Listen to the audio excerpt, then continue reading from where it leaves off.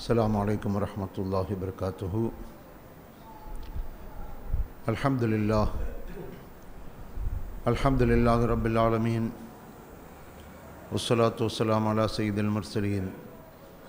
وعلا آلہ و صحابہ و تباہی و ازواجہ اجمعین۔ اعوذ باللہ من الشیطان الرجیم۔ بسم اللہ الرحمن الرحیم۔ رب شرح لی صدری ویسر لی امری۔ واحل العقدم السانی اب کہو کولی وصلاۃ والسلام علیکہ یا سیدی یا رسول اللہ خود بیدی، قلت، حلت ادرکن یا شفیع المدربی قال اللہ سبحانہ وتعالی فی قرآنہ، بسم اللہ الرحمن الرحیم. علم تر الذي حاج ابراہیم فی ربه ان آتاه الله الملك اذ قال ابراہیم ربی الذي يحيي ويميت قال انا احيي واميت قال إبراهيم فإن الله يأتي بالشمس من المشرق فأت بها من المغرب فبهت الذي كفر الله لا يهدي القوم الظالمين صدق الله العظيم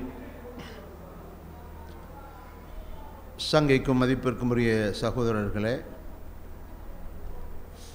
யுகங்கள் எத்தனை உருண்டாலும் மனித சமுதாயம் மறக்க முடியாத மகத்தான ஒரு மாதம் இந்த புனித துல்ஹஜ் மாதம்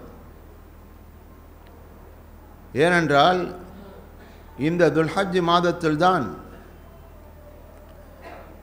எத்தனையோ மக்களுக்கு வாழ்வளித்த வள்ளல் வளம் தந்த கொண்டல் நலம் நல்கிய அண்ணல் தியாக செம்மல் ஹதரத் இப்ராஹிம் அலி சலாத்து வலாம் அவர்களுடைய நினைவு உலகமெங்கும் போற்றப்படுகிறது.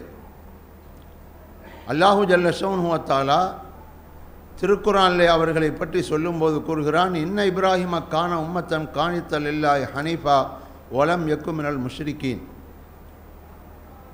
இப்படி ஒரு தொடர் ஆயத்தில் சொல்லும்போது சொல்கிறான் வாத்தினா பித்துண்டியா ஹசனா.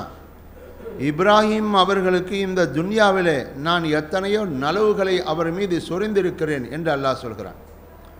அதற்கு இப்ராஹிம் அலை சலாத்து வலாம் அவர்களுக்கு அல்லாஹு தாலா நுபுவத்தை கொடுத்தான் நீண்ட ஆயுள் காலத்தை கொடுத்தான் மாபெரும் கல்வி ஞானத்தை கொடுத்தான் சாலியான மக்கள் செல்வங்களை கொடுத்தான். அவங்களுடைய மகன் ஹதரத் இஸ்மாயில் அலைசலாம் இன்னொரு மகன் ஹதரத்து இஸ்ஹாக் அலைசலாம் ரெண்டு நபர்களும் மாபெரும் நபிமார்கள். அவங்களுடைய மகன் இப்ராஹிம் நபியுடைய பேரர் ஹதரத் யாக்கூப் அலைசலாம் இப்ராஹிம் நபியுடைய கொல்லு பேரர் ஹதரத் யூசுப் அலைசலாம் இவங்களெல்லாம் நபிமார்கள். இப்படி இப்ராஹிம் நபியுடைய சந்ததியிலும் அல்லாஹு தாலா மிகப்பெரிய பறக்கத்து செய்தான். இன்னமும் சொல்ல போனால் இப்ராஹிம் நபிக்கு பிறகு இந்த உலகத்தில் வந்த எல்லா நபிமார்களும் இப்ராஹிம் அலை சலாத்து வலாம் அவர்களுடைய புனிதமிக்க பாரம்பரியத்தில் வந்தவர்கள் தான் ஹதரத் எம்பெருமானா சல்லல்லாஹு அலை செல்லம் அவர்கள் உட்பட. இப்ராஹிம் நபியினுடைய மகனார் இஸ்ஹாக் அலைசலாம் அவர்களுடைய பாரம்பரியத்தில் பல்லாயிரக்கணக்கான நபிமார்கள் வந்தார்கள். இப்ராஹிம் நபியுடைய மற்றொரு மகன் ஹசரத் இஸ்மாயில் அலைசலாம் அவங்களுடைய வம்சாவளியில் இறுதி நபி உறுதி நபி எம்பெருமானார் முகமது சல்லல்லாஹு அலையம் அவர்கள் வந்தார்கள். எல்லா நபிமார்களுக்கும் தலைவர் இஸ்மாயில் நபியினுடைய வழியிலே ஒரே ஒரு நபி தான் அதுதான் நம்முடைய பெருமானார் சல்லல்லாஹ் அலையம் மொத்தத்தில் இப்ராஹிம் நபிக்கு பிறகு இந்த உலகத்தில் வந்த எல்லா நபிமார்களும் இப்ராஹிம் நபியினுடைய பாரம்பரியத்தில் வந்தவர்கள். அந்த அளவிற்கு அல்லாஹு தாலா இப்ராஹிம் நபிக்கு மாபெரும் சிறப்பை செய்தான். இந்த உலகத்தில் நீண்ட ஆயுளை வாழ்ந்தார்கள். அதிகமான பொருள் செல்வங்களுக்கு சொந்தக்காரர் மிக பெரும் பணக்காரனாக கோடீஸ்வரனாக இருந்தார்கள் ஹசரத் இப்ராஹிம் அலை சலாத்து வசலாம் அவர்கள். எந்த அளவிற்கு அவங்க பெரிய கோடீஸ்வரன் சொன்னால் அவங்களுடைய ஆட்டு மந்தைகள் மாடுகள் மற்றும் ஒட்டகங்களை காவல் செய்வதற்காக அவங்களிடத்தில் இருந்த நாய்களுடைய மொத்த டோட்டல் ஐயாயிரம். ஐயாயிரம் நாய்கள் இருந்தன என்றால் பார்த்து கொள்ளுங்கள். அந்த ஐயாயிரம் நாய்களுடைய கழுத்திலும் தங்க பட்டிகளை போட்டிருந்தார்கள் ஹசரத் இப்ராஹிம் அலைசலாம் இந்த காலத்தில் ஒரு பெண்ணுக்கு தங்கத்தை போட்டு கல்யாணம் முடிச்சு கொடுக்கறது பெரிய கஷ்டமாக இருக்குது. இப்ராஹிம் அலைசலாம் தன்னுடைய ஆடு மாடு ஒட்டகங்களை காவல் செய்கின்ற ஐயாயிரம் நாய்களுக்கு தங்க பட்டிகளை அவற்றின் கழுத்திலே போட்டார்கள் என்றால் அவங்க எவ்வளோ பெரிய பணக்காரனாக இருந்திருக்க முடியும்? இந்த தங்கத்துக்கெல்லாம் அவங்க ஒன்றும் பெரிய மதிப்பு கொடுக்கல. தங்கம்லாம் அவங்களுடைய கால் தூசிக்கு கீழே. அதனால தான் நாய் கழுத்தில் கொண்டு போட்டாங்க தங்கத்தை. அதையும் நாம் என்ன செய்யணும்? விலையும் கொள்ளணும் இப்படி பல கோடீஸ்வரனாக அவங்க இருந்தாலும் கூட அவங்களுடைய கல்வியில் அந்த உலக பொருளாதாரங்கள் கொஞ்சம் கூட இடம்பெறவில்லை. எல்லாம் கல்புக்கு வெளியே தான் இருந்தன. அதனால்தான் அல்லாஹாலா அவங்கள ஹலீலுர் ரஹ்மான் என்னுடைய ஆழமான நண்பர் என்று அல்லாஹாலா சொன்னான். ஹலீல்னா வெறும் நண்பர் அல்ல ஆழமான மிக மிக நெருக்கமான நண்பர். அந்த நண்பருக்கு தன்னுடைய நண்பனான அல்லாஹுவை தவிர இந்த உலகத்தில் வேறு எந்த பொருளும் முக்கிய நோக்கமாக இராது. அவருக்கு பேர் தான் ஹலீல் என்று அரபியில் சொல்லப்படும். அதனால தான் வத்தக அல்லாஹ் இப்ராஹிம ஹலீலா. அல்லாஹ்வாகிய நான் இப்ராஹிமை என்னுடைய நண்பராக ஹலீலாக ஆக்கி கொண்டேன் என்று அல்லாஹு தாலா சொல்கிறான். இப்ராஹிம் அலை சலாத்து வசலாம் அவர்கள் இந்த உலகத்தின் பொருள் எல்லாம் அவர்களுக்கு பெரிதாக தெரியவில்லை. இறைவனுடைய பொருத்தம் மாத்திரமே பெரிதாக தெரிந்தது.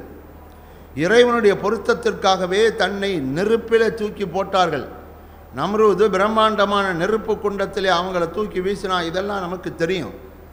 தன்னுடைய மகனை அறுத்து பலியிட முனைந்தார்கள். தன்னுடைய அருமை மனைவி ஹதரத் ஹாஜரா அவர்களை இறைவனுடைய உத்தரவுக்கணங்க யாரும் இல்லாத வனாந்தர காற்றிலே விட்டார்கள். அப்போ தன்னையும் தியாகம் செய்தார்கள் பிள்ளைகளை தியாகம் செய்தார்கள் குடும்பத்தை தியாகம் செய்தார்கள். மலக்குமார்கள் மனித தோற்றத்திலே வந்து சில தஸ்பீகளை சொன்ன காரணத்தினால தன்னுடைய ஆடுகள் மாடுகள் ஒட்டகங்கள் உட்பட அனைத்து மந்தைகளையும் அந்த மனித தோற்றத்தில் இருந்த மலக்குகளுக்காக கொடுத்து விட்டாங்க. அப்புறமா சொன்னாங்க இன்னொரு முறை அந்த தஸ்பியை சொல்லுங்கள் வந்தவங்க கேட்டாங்க இப்போ உங்கள்கிட்ட தருவதற்கு ஒன்றுமே இல்லையே. ஆடும் போச்சு மாடும் போச்சு ஒல்லாமல் போச்ச. அவற்றையெல்லாம் மேய்ப்பதற்கு என்னை வைத்து கொள்ளுங்கள். அல்லாஹ்வுடைய தஸ்பியை சொல்லுங்கன்னா அப்போ தான் வந்தவங்க சொன்னாங்க நாங்கள்லாம் மனிதர்கள் எல்லாம் மலக்குகள் எங்களுக்கு இதெல்லாம் தேவையில்லை நீங்களே வச்சுக்கிடுங்க. உங்களுடைய கல்வை சுண்டி பார்ப்பதற்காகத்தான் நாங்கள் வந்தோம் என்று மலக்குகள் சொன்னார்கள். இவ்வளவு பெரிய மாபெரும் தியாகி ஹதரத் இப்ராஹிம் அலை சலாத்து வலாம் அவர்கள் இந்த உலகத்தில் இருக்கின்ற எல்லா மதத்தார்களும் அவர்களை போட்டுகிறார்கள் இப்போ இந்துக்கள் கூட கிருஷ்ணன் சொல்கிறாங்களே யாரை கிருஷ்ணன் சொல்கிறாங்கன்னா இப்ராஹிம் நபியை தான் கிருஷ்ணன் ஒரு பேரை வச்சுக்கிட்டாங்க. இப்படி இப்ராஹிம் அலை சலாத்து வலாம் அவங்கள இந்து மதத்தில் மாத்திரமல்ல யூத மதம் கிறிஸ்துவ மதம் எல்லா மதத்தில் உள்ளவர்களும் ஹசரத் இப்ராஹிம் நபி அலை சலாத்து வலாம் அவர்கள் பெரிய தலைவர் என்று சொல்கிறார்கள். ஒவ்வொரு மதத்தார்களும் அவங்களுக்கு ஒவ்வொரு பேரை வச்சுக்கிட்டாங்க. கிறிஸ்துவர்கள் ஆப்ரஹாம் அப்படின்னு பேரை வச்சுக்கிட்டாங்க. அப்போ இப்ராஹிம் அலை சலாத்து வலாம் அவர்களுக்கு வாத்தீனாஹு துன்யா இந்த துன்யாவிலேயே மிக பெரும் சிறப்பு செய்தேன். ஒய்நகுபில் ஆகரத்தில் என சாலிகின் மறு உலகத்திலே அவர் மிகப்பெரிய சாலிகன்களில் ஒருவராக இருப்பார் என்றான் அல்லாஹு தாலா. மறு உலகத்தில் முதன் முதலாக ட்ரெஸ்ஸு உடுத்தப்படுகின்ற நபர் ஹதரத் இப்ராஹிம் அலி சலாத்து வசலாம் அவங்க தான். அதுக்கு பிறகு தான் மற்றவங்களுக்கெல்லாம் ஆடை உடுத்தப்படும். இப்படி இப்ராஹிம் அலி சலாத்து வசலாம் அவர்களுக்கு அநேக சிறப்புகள் உண்டு. அவங்க சிறு வயதிலேயே அவங்க பிறப்பதற்கு முன்னர் இவங்க பிறக்கக்கூடாது என்பதற்காக நம்ருது. குறி சொல்லக்கூடியவர்கள் மூலம் இந்த இப்ராஹிம் என்பவர் பிறந்து நம்முடைய ஆட்சிக்கு முடிவு வரும் என்பதை தெரிந்து கொண்டு அந்த நாட்டிலே அதாவது ஈராக் நாட்டிலே தான் அவன் வாழ்ந்தான். பிறக்கின்ற எல்லா குழந்தைகளையும் கொலை செய்தான். இவங்களுடைய தாயார் அவங்க இவங்களை பெற்று ஒரு குகைக்குள்ளே வளர்த்தி ஏழாவது வயதில் தான் வெளியே கொண்டு வந்தாங்க. வெளியே கொண்டு வந்து பார்த்தா சுபானல்லா எல்லாம் மரம் மட்டை சூரியன் சந்திரன் நட்சத்திரம் இவற்றையெல்லாம் வணங்கி கொண்டிருக்கிறார்கள். அப்போ தான் அவற்றையெல்லாம் பார்த்து சொன்னார்கள் ஹாதா ரப்பி ஹாதா ரப்பி ஹாதா ரப்பி. இந்த சூரியனும் சந்திரனும் விண்மீன்களும் என்னுடைய இறைவனா? இல்லையே இவைகளெல்லாம் மறைந்து போகக்கூடியவை. இவைகளெல்லாம் இறைவனால் படைக்கப்பட்டவை என்ற கருத்தை சொல்லி அவர்களுடைய அறிவு கண்ணை திறந்தார்கள். இப்ராஹிம் அலிஸ்லாம் எப்போ? ஏழு வயதிலேயே. இவங்களுடைய தொடர் பிரச்சாரம் இப்படியே நடந்து நடந்து இவர்கள் வளர்ச்சி பருவத்திலே துள்ளி குதித்து வாலிபத்திலே மிகப்பெரிய சன்மார்க்க தத்துவத்தை போதித்த போதுதான் எந்த அளவிற்கு என்றால் கோவில்களில் உண்டான சிலைகளை அந்த கற்களை கடவுள் என்று வணங்குவதைக் கண்டு இப்ராஹிம் அலையாம் வேதனைப்பட்டு இவைகளெல்லாம் சும்மா டுபாக்கூர் கடவுள்கள் என்பதை மக்களுக்கு புகட்டுவதற்காக அவற்றை உடைத்தார்கள். அது கண்டு நம்ருது பிரம்மாண்டமான நெருப்புக்குள்ளே தூக்கி போட்டான். எப்படியாவது இந்த இப்ராஹிமை துன்யாவை விட்டு தூக்க வேண்டும். இவரது தேக்குமர திரேகத்தை தீக்கிரையாக்கி இவரை தூக்கி நெருப்பிலே போட்டு தாக்க வேண்டும் துன்யாவை விட்டு தூக்க வேண்டும். இதுதான் அவனுடைய விருப்பம். அல்லாஹு தாலா அந்த மாபெரும் நெருப்பு குண்டத்தை சுகம் தரும் சோலைவனமாக மாற்றினான் என்பது நாம் குரான் ஆயத்தை அடிக்கடி ஓதுகின்ற நமக்கெல்லாம் தெரியும். அந்த பிரம்மாண்டமான நெருப்பு குண்டத்திலிருந்து வெளியே வந்த பிறகு நம்ரூது அவர்களை கூப்பிட்டு கேட்டான் இப்ராஹிமே இந்த நெருப்பைலாம் விட்டு தப்பி வந்துட்டீங்களே உங்களுடைய ரப்பு யாரு? அப்படின்னு கேட்டான். இது நம்ரூதனுடைய பிரம்மாண்டமான அந்த மாளிகையில் ஒரு நாள் நடக்குது. இவங்க நெருப்பு குண்டத்திலிருந்து வெளியே வந்து சில நாட்களிலே ஈராக் நாட்டில் கடுமையான பஞ்சம் அப்போ எல்லோரும் நம்ரூதனுடைய கோட்டைக்குள்ளே வந்து வரிசையாக நின்று நம்ரூது கொடுக்கின்ற உணவு பண்டங்களை வாங்கி செல்கிறார்கள். அதில் இப்ராஹிம் அலை இஸ்லாமும் வரிசையாக போயிட்டு இருக்கிறாங்க. ஒவ்வொரு மனிதனுக்கும் சாப்பாடு கொடுக்கும்போது அவன் கேட்பான் ஒரு ரப்பு யார்? அப்படின்னு. வர்றவங்களாம் சொல்லுவாங்க நீங்கள் தான் அப்படிம்பாங்க. உடனே அவன் சந்தோஷத்தில் கோதுமையும் பண்டங்களையும் அள்ளி கொடுப்பான். இப்படி ஒவ்வொரு ஆளாக வந்துக்கிட்டு இருக்கும்போது இப்ராஹிம் நபியுடைய முறை வந்தது அவங்க பாத்திரத்தை நீட்டினாங்க. ஓ ரப்பு யார் அப்படின்னு கேட்டான். அப்போ அவங்க சொன்னாங்க என்னுடைய ரப்பு நீ கிடையாது. ரப்பி எல்லதி யொஹை ஒய்மீத் இது அல்லாஹ் குரானில் சொல்கிறான் அலம் தர இலல்லதி ஹாத் ஜஃபி இப்ராஹிம் அண்ணா ஆத்தாஹுல்லாஹுல் முல்க். நம்ரூதுக்கு நான் பெரிய அரசாட்சியை கொடுத்திருந்தேன். அந்த உலகம் முழுவதும் அவன் மாபெரும் அரசன் சர்வலோக சக்கரவர்த்தி. உலகம் முழுவதையும் ஒரே கொடையின் கீழ் ஆண்டவர்கள் மொத்தம் நாலு நபர்கள் ரெண்டு காவிர்கள் ரெண்டு முஸ்லீம்கள். ஒன்று அதர் சுலைமான் அலைசலாம் முஸ்லீம். ரெண்டாவது சிக்கந்தர் துல்கர்னேன் அலைசலாம் சூரத்தில் காபில் அல்லாஹ் தாலா வயசாலும் கந்துல் கர்னைன் அப்படின்னு சொல்கிறான் இந்த ரெண்டு பேரும் முஸ்லீம்கள். மூணாவது நம்ருது அவன் காபிரு. நாலாவது ஷத்தாது அவனும் காபிரு. இந்த நான்கு நபர்களும் தான் இந்த உலகம் முழுவதையும் ஒரே நேரத்தில் ஆட்சி செய்தவர்கள். அப்போ அப்படிப்பட்ட மாபெரும் சக்கரவர்த்தி அவன் கேட்குறான் இப்ராஹிமே ஒரு ரப்பு யார்? அப்போ அவங்க சொல்கிறாங்க என்னுடைய ரப்பு யார் தெரியுமா? ரப்பி எல்லவி ஒஹி ஒய்மேத் ஒவ்வொரு பொருட்களையும் உயிர் கொடுத்து வாழச் செய்கிறான். அவன்தான் மரணிக்கவும் செய்கிறான்.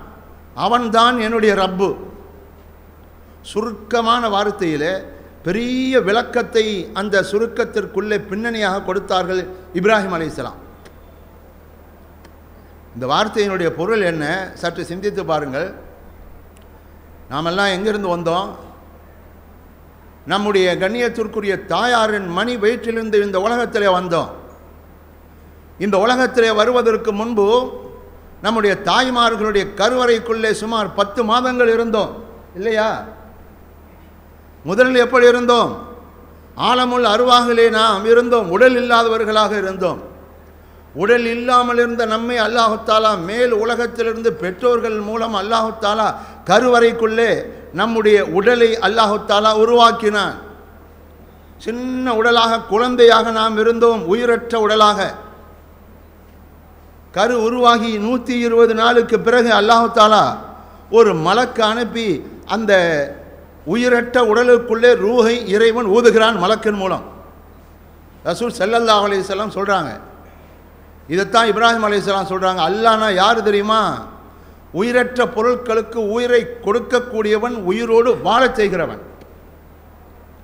கருவறை என்பது என்ன? அங்கே காற்று புகாது சாப்பாடு போகாது வெளிச்சம் போகாது. காற்று போகுவதற்கு அங்கே ஜன்னல் கிடையாது. பத்து மாதமும் தாய் அந்த பிள்ளைக்கு ஊட்ட முடிவதில்லை. உள்ளே இருட்டுக்குள்ளே இருக்கிறானே மனிதன் என்று நம்முடைய பிள்ளை கருவறைக்குள்ளே அங்கே இருட்டாக இருக்குன்னு ஒரு லைட்டை உள்ளே அனுப்ப முடியுமா? ஒரு ஜெனரேட்டரை கொண்டு போக முடியுமா? அங்கே காற்று இருக்காதுன்னு ஏசியை அனுப்ப முடியுமா? விசிறியை கொடுக்க முடியுமா? இப்படிப்பட்ட கும் இருட்டுக்குள்ளே இருட்டு நாள் இருட்டு நாலு இருட்டு இரவு ஒரு இருட்டு வயிறு ஒரு இருட்டு கருவறை ஒரு இருட்டு கருவறை சுற்றி இருக்கின்ற மெல்லிய ஜவ்வு அது ஒரு இருட்டு. இத்தனை இருட்டுக்குள்ளே அல்லாஹாலா அந்த குழந்தையை பத்து மாதமாக வாழச் செய்கிறான். பத்து மாதத்திற்கு பிறகு அந்த குழந்தை வெளியே வந்து அது ஆயுள் பூராவும் வாழுகிறது அப்போதும் அல்லாஹான் வாழச் செய்கிறான். இப்படி தான் உலகம் பூரா எல்லா உயிரினங்களும். முட்டையை ஆய்வு செய்து பாருங்கள். வட்ட வடிவமாக இருக்கின்ற அந்த முட்டைக்குள்ளே குஞ்சு உயிரோடு தான் இருக்கிறது. அது வெளியே வரக்கூடிய காலத்திலே அல்லாஹனுடைய உத்தரவுப்படி அது தனக்கு மேலே இருக்கின்ற அந்த முட்டை தோட்டை தட்டிவிட்டு அது வெளி உலகத்திற்கு பாய்கிறது உயிரோடு வருகிறது. அப்போ உள்ள உயிரோடு இருந்ததுனால தான் வெளியே உயிரோடு வருது. அந்த முட்டையில் ஒரு ஓட்டை கிடையாது ஜன்னல் கிடையாது காற்று போகாது வெளிச்சம் போகாது உணவு போகாது. அல்லாஹு தாலா அந்த குஞ்சை காப்பாற்றினானா இல்லையா? உயிரோடு அங்கே வாழ வச்சானா இல்லையா? மாம்பழத்துக்குள்ளே வண்டு எத்தனை நாட்கள் உயிரோடு இருக்கின்றன? அல்லாஹு தாலா அங்கே அந்த உயிரை வாழ வைக்கிறானே. அந்த ஜீவனை அல்லாஹு தாலா எப்படி வாழ வைக்கிறான்? கல்லுக்குள்ளே தேரை இருக்கிறது உயிரோடு தானே இருக்கிறது.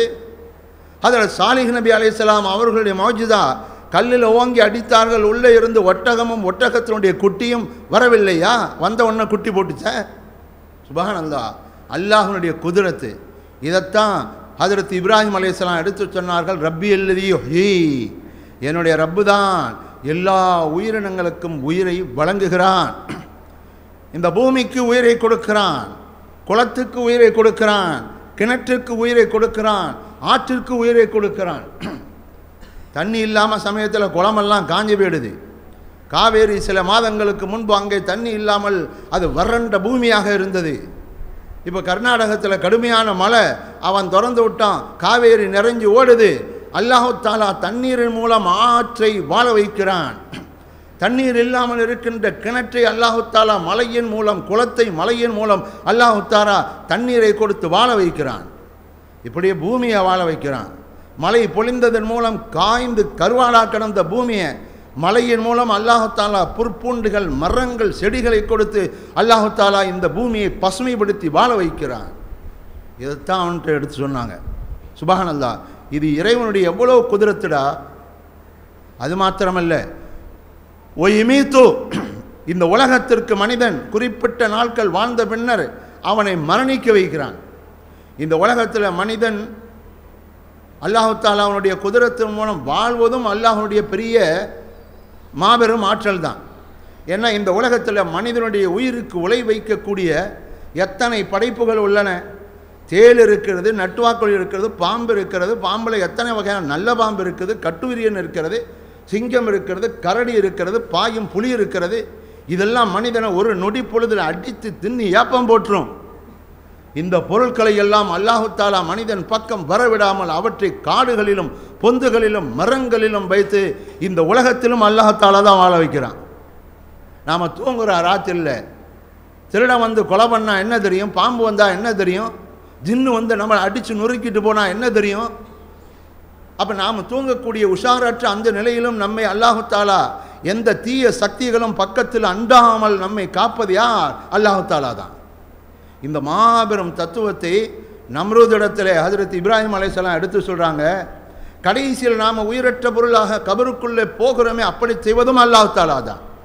சும்மா அமாத்தஹு ஃபாக்பரஹு சும்மா இதா ஷா அன்சரா மனிதா உன்னை மோத்தாக்கி கபருக்குள்ளே கொண்டு வைப்பதும் நான் தான் என்று அல்லாஹு தாலா ஆபாசா வ தவல்லா அன்ஜா அவுல் ஆமா என்ற சூறாவில் இறைவன் சொல்லி காட்டுகிறான். ஆனால் இதையெல்லாம் அந்த மடையன் விளங்காமல் என்ன சொன்னான் ஓ இப்ராஹிமே உன் ரப்பு உயிர் கொடுக்குறான் மூத்தாக்குறான் இது தானே இதை நான் கூட செய்வேன் பாருங்கன்னு ரெண்டு பேரை கூப்பிட்டு ஒரு தானே வெட்டினா ஒரு தானே போடான்ட்டான்.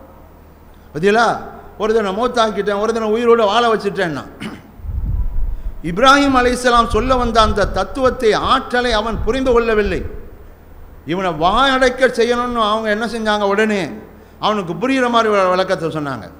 சரி நீ உயிர் கொடுக்கிற வாழ வைக்கிற மௌத்தாக்குற சரி நீ தான் உண்மையான இறைவன் என்றிருந்தால் தினசரி கிழக்கிலிருந்து உதிக்கும் சூரியனை உனக்கு ஆற்றல் இருந்தால் நீ கடவுள் என்பது உண்மை என்றால் மேற்கிலிருந்து அதை உதிக்கச் செய் என்றார்கள். அல்லாஹ் சொல்கிறான் பபிஹித்தல்லது கபர். இந்த கேள்விக்கு அவன் பதில் சொல்ல முடியாமல் அப்படியே வாயடைச்சு போனான். இப்போ தெரிஞ்சிருச்சு. அவன் கடவுள் அல்ல அப்படிங்கிறத அந்த கூட்டத்தின் மத்தியில் காட்டி விட்டார்கள். ஆனால் அவன் திரும்ப இப்ராஹிம் நபியை பார்த்து கேட்டான். சரி இப்ராஹிமே ஓ ரப்பு தினசரி கிழக்கிலிருந்து வர வைக்கிறான் சூரியனை. நீங்கள் அல்லாட்ட சொல்லி இறைவனுக்கு சக்தி இருந்தால் இப்போ இன்னைக்கு மேற்கிருந்து உதயமாக செய்ய முடியுமா? என்று கேட்டால் இப்ராஹிம் நபி என்ன செய்வாங்க? எங்கே நம்ருது அப்படி கேட்டுவானோன்னு சொல்லி ஜிப்ரீல் அலைசலாம் சூரியன் பக்கத்தில் தயார் நிலையில் நின்றார்கள். அவன் நம்ருது கேட்டா அந்த சூரியனை சுட்டரிக்கும் சூரியனே நீ மேற்கிலிருந்து உதயமாக என்று சொல்வதற்கு ரெடி நிலையில் இருந்தாங்க. ஆனால் நம்ருதுக்கு அப்படி ஒரு திட்டம் வரல அவன் கேட்கவும் இல்லை. இப்ராஹிம் நபி கேட்ட கேள்வியில் உனக்கு சக்தி இருந்தால் மேற்கிருந்து நீ கொண்டாயா பார்ப்போன்னு இப்ராஹிம் நபி சொன்ன உடனே அவன் அந்த சக்தி இல்லாமல் வாயடைச்சு போனான். கடைசியில் தான் தான் கடவுள் என்பதில் பிடிவாதமாக இருந்தான். இப்ராஹிமே வரிசையாக எல்லாரும் நின்று சோறு கேட்குறாங்க உணவு கேட்குறாங்க நீங்கள் சொல்லிட்டீங்க நான் இறைவன் இல்லை. உங்கள் ரப்பு ஹயாத்தாக்குவான் உயிர் கொடுப்பான்னு சொல்லிட்டீங்க. அவன்டே போய் நீங்கள் கேட்டுக்கிடுங்கன்னு சொல்லிட்டான். கோதுமையும் கொடுக்கல பண்டமும் கொடுக்கல ஒன்றும் கொடுக்கல. ஊர் பூரா பஞ்சம். இப்போ வெறும் கையோட தன்னுடைய மனைவி ஆதர சாரராமையா அம்மையார் ரத்தியல்தான் அவங்கள நோக்கி போகிறாங்க போகும்போது பெரிய மணல் திட்டு. அதில் அள்ளி தன்னுடைய பையில் போட்டு மணலை அள்ளி வீட்டுக்கு கொண்டு போகிறாங்க சாரா அம்மையார் அடுப்பங்குலையில் இருக்காங்க இவங்க வீட்டில் வச்சுட்டு தூங்கிட்டாங்க. ஒன்றுமே சொல்லலை. கணவர் வெளியே போயிட்டு ஏதோ பை நிறைய கொண்டு வந்தார சரி போய் என்ன இருக்குன்னு பார்ப்போன்னு அவங்க திறந்து பார்க்குறாங்க சுபானல்லா கோதுமை இருக்கிறது. அதை எடுத்து பக்குவப்படுத்தி அவங்க ரொட்டி சுட்டு தயார் நிலையில் வச்சு கணவர் கண் விழித்ததும் உண்ணுங்கள் பருகுங்கள் என்று கொடுக்குறாங்க. இவங்க கேட்குறாங்க ஏதம்மா ரொட்டி? எங்கேருந்து வந்தது? அடே நீங்கள் தானங்க கொண்டு வந்தீங்க கோதுமையை? அதை வச்சு தான் இந்த ரொட்டியை தயாரித்தேன்னு சொன்னாங்க.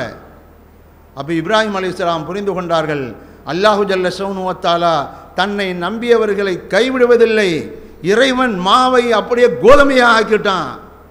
உயிரற்ற நுத்துஃபாவை சுக்கிலத்தை மனிதனை அல்லாஹு தாலா உயிரற்ற பொருளாக இருந்து அவனை குழந்தையாக மாற்றவில்லையா? அந்த நுத்துஃபாவை இறைவன் இரத்தக்கட்டியாக சதிக்கட்டியாக பிறகு மனிதனாக மாற்றலையா இந்த ஆற்றல் அவன் அங்கே செய்யும்போது வெளி உலகத்தில் ஏன் செய்ய முடியாது? இந்த குதிரத்தை இப்ராஹிம் அலையாம் நமக்கெல்லாம் சொல்கிறான் உன்னை சொல்லி முடிக்கிறேன். ஹதரத் இப்ராஹிம் அலை சலாத்து வலாம் அவர்கள் நம்ரூதை பார்த்து சொன்னாங்க உனக்கு ஆற்றல் இருந்தால் தெம்பிருந்தால் திறன் இருந்தால் நீ ஒரு ஆண்மகன் என்பது உண்மை என்றால் நீ கடவுள் என்பது உண்மை என்றால் உதிக்கும் சூரியனை மேற்கிலிருந்து நீ வரச்சை அவன் வாய் அடைச்சு போனான் இப்ராஹிம் நபியும் செய்யல. அவன் கேட்கல அதனால் செய்யலை. இப்ராஹிம் நபி நினைச்சா செய்திருக்க முடியும். ஆனால் தன்னுடைய வாப்பா இப்ராஹிம் நபி செய்யாத அதை அவர்களுடைய பாரம்பரியத்தில் வந்த அவர்களுடைய பிள்ளை எபெருமானா சல்லல்லாஹு செல்லும் ஒரு முறை அதை செய்து காட்டினார்கள். ஹைபர் யுத்தத்தில் கடுமையான சண்டை. மாலை நேரம் சில சஹாபிகள் அசர் தொழுது விட்டார்கள். போர்க்களத்தில் சிலர் முன்னர் தொழுகுவார்கள் சிலர் பின்னால் தொழுகுவார்கள். இப்படி இருக்கும்போது அலி ரதியுல்லான் அன்னைக்கு அசர் தொழுகல. ரசூல் செல்லல்லாஹு செல்லாம் அசர் தொழுக வச்சு அலி ரலியுல்லான் மடியில் தலை வச்சு படுத்துட்டாங்க. அப்படியே சூரியன் கொஞ்சம் கொஞ்சமாக மறைந்து கொண்டே இருக்கிறது. இன்னும் மறைஞ்சால் அசர் தொழுக போயிடும். இப்போ என்ன செய்கிறது ரசூலுல்லாவை எழுப்பினா தான் தொழுக முடியும். அதாவாக இல்லைன்னா கதாவாயிடும். ஆனால் எழுப்பினா ரசூல்லாவுடைய புனிதமான உயர்தரமான அந்த தூக்கம் கெட்டுவிடும். ரசூல்லாவுடைய தூக்கமும் இபாதத்து. அந்த இபாதத்தை எப்படி கலைப்பது? சரி தொழுக போனா போகுது அப்படின்னு விட்டாங்க. ரசூல்லா கண் ஒழித்து பார்க்குறாங்க மகரி விடயம் வந்துருச்சு. சரி இப்போ மாறி தொழுகணும். அலியே அசர் தொழுதுட்டீங்களா? யாரை சொல்லுதா நான் அசர் இன்னும் தொழுகலை. எம்பெருமானா செல்லல்லா அலைஹி செல்லம் தன்னுடைய சுட்டு விரலால் சூரியனை சுட்டி காட்டி மறைந்த சூரியனே மாண்டவனே நீ மீண்டு வா என்றார்கள். சூரியன் திரும்ப வந்து அசர் நேரத்தினுடைய கடைசி பகுதியில் நின்றது. அதற்கு அலி ரதியுல்லானும் அங்கே அசர் தொழுகையே அதாவாக தொழுதார்கள். அது எம்பெருமானா சல்லல்லாஹு அலைஹி வஸல்லம். இப்ராஹிம் நபி செய்யவில்லை. அவர்களுடைய அருமை பிள்ளை பெருமானா சல்லல்லாஹு அலைஹி செல்லம் அவர்கள் செய்து காட்டினார்கள். சந்திரனையே ரெண்டு துண்டாக தன்னுடைய சுட்டு விரல் மூலம் பிளந்தவர்கள் தானே பெருமானா சல்லல்லாஹு அலைஹி அப்போ ரசூல்லாவுடைய ஆற்றல் சந்திரனிலும் உண்டு சூரியனிலும் உண்டு உலகத்தின் எல்லா பொருட்களிலும் உண்டு. அல்லாஹு ஜல்ல சௌஹத்தாலா நபிமார்கள் நல்லவர்களுடைய குதிரத்தை புரிந்து கொள்ளக்கூடிய ஆற்றலை நாம் எல்லோருக்கும் தருவானாக. வாஹர் தவானா அனில் அஹமதுல்லாஹ் ரபுல் ஆலமீன். வஸ்லாம் அலைக்கும் வரமத்துல்லாஹி வரகாத்தூன்